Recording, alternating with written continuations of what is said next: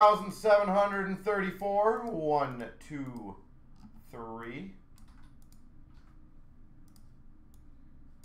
One, two, three. Let's see who's going to get these items today. The Beniers goes to Costa 1000. Game worn gets a Matthew Knies clear cut rookie. And GWM gets a Luke Hughes clear cut rookie.